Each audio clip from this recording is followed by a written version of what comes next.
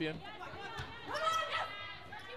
And setting a nice offense, this time delivering to Rosenthal. That's overhead. Rosenthal back to back kills for number 16.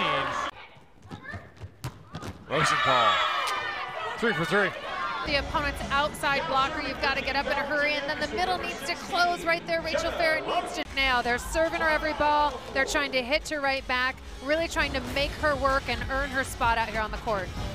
Rosenthal and Fairs. Non-weight bearing and not able to walk off the court on her own.